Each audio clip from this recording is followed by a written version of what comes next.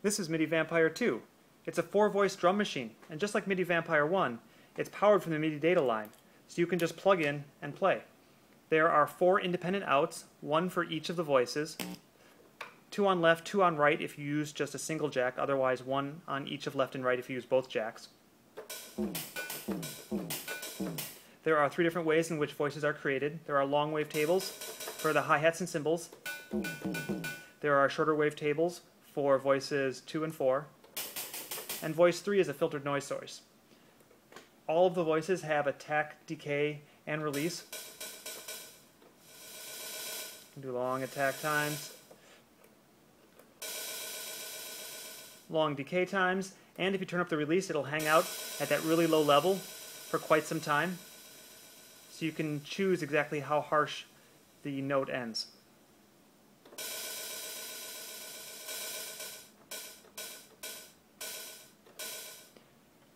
There is also frequency.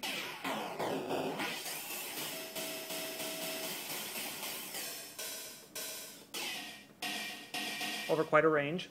And frequency sweep. And a bit crusher effect.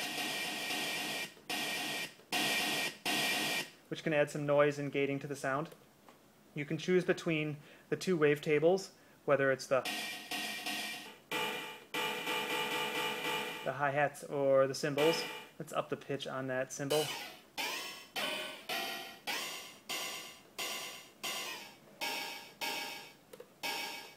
And you can choose the length of the wavetable. For very long,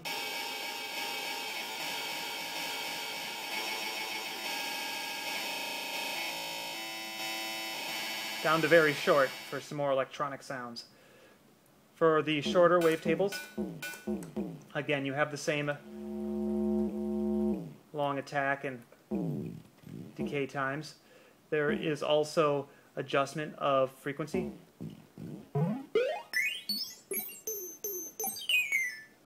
And frequency sweep. There is also a bit crusher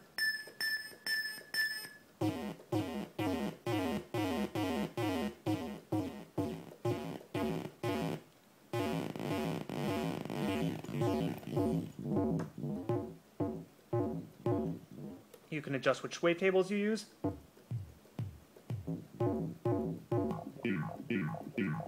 There are eight of them to choose from.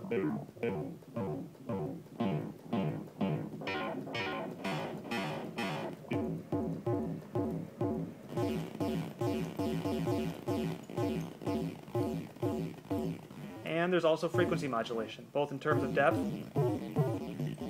and.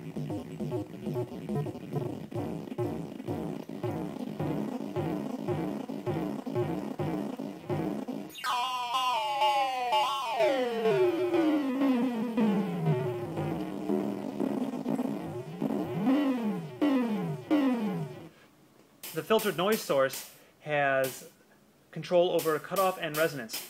And the resonance is swept. So you can have the start and stop resonance be two different values, and you can sweep either up or down between them. So that's a short sweep time.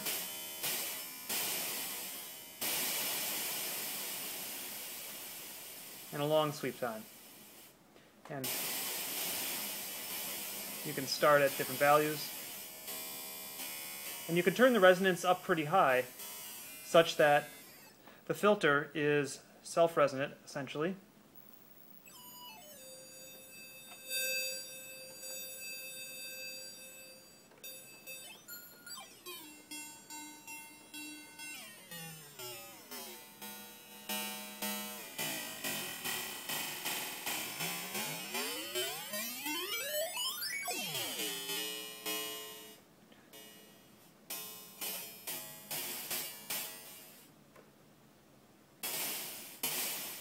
So you can choose how much noise is in the filtered noise source.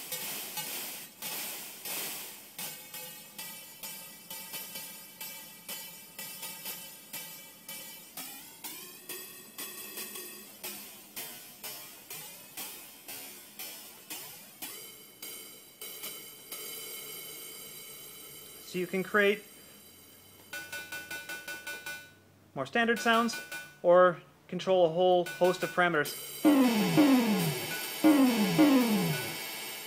to warp the sounds to your liking.